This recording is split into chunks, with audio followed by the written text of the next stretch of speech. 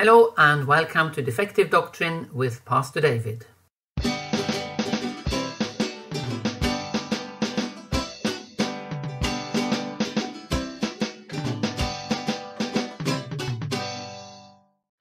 Well, this is possibly the most controversial and most complicated topic I've addressed in this series. So I'm only going to address one specific claim, namely that Israel and the church are two separate entities, eternally separated in the plan of God. Funnily enough, this same defective doctrine is found at two opposite theological extremes. On the one hand, there's dispensationalism, which teaches that the church was an afterthought, to a mere parenthesis in God's plan. And once the church has been removed at the rapture, Israel will once again take center place and center stage in the outworkings of God's purposes. On the other hand, are the replacement theologians who believe the church has replaced Israel in the unfolding of the plan of God, a belief which tragically has often led to anti Semitism and persecution of the Jews. The big problem that underlies both of these positions is that they both seem to interpret Christian church to mean Gentile church.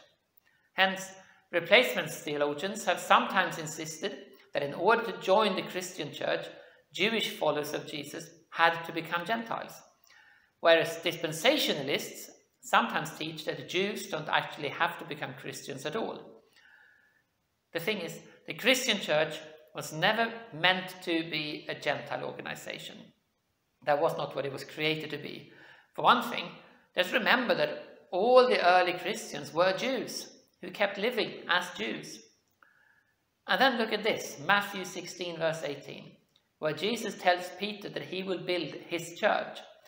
And as far as I know, nobody doubts that this refers to the church that was started on the day of Pentecost. But the Greek word used in the New Testament about the church, ecclesia, is actually used in the Greek translation of the Old Testament to refer to the Israelite assembly. So Jesus isn't introducing a new concept, the church. It's just revamping something that the disciples were already very familiar with. And in the same vein, Jesus' choice of 12 apostles is clearly meant to reflect the number of Israelite tribes. It's another sign that Jesus is revamping Israel. The twelve are the heads of the true assembly of Israel, which is being gathered around Jesus, the promised Jewish Messiah. And in Romans 11, Paul talks about the olive tree from which unbelieving Jews have been broken off, whereas believing Gentiles have been grafted in. Now it's clear that the olive tree represents something bigger than just a church, these unbelieving Jews were never part of the church. It must be a picture of Israel, the people of God, redefined and refocused. And Peter confirms this.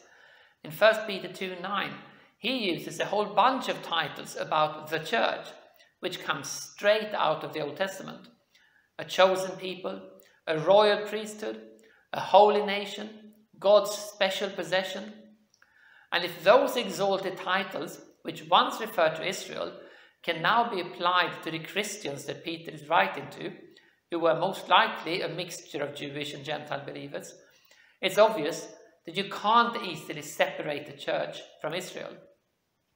And Paul makes the same point in Ephesians chapter 2. Gentiles are now fellow citizens with the saints, members of God's household, singular, one new humanity in Jesus, one spiritual temple for the Holy Spirit.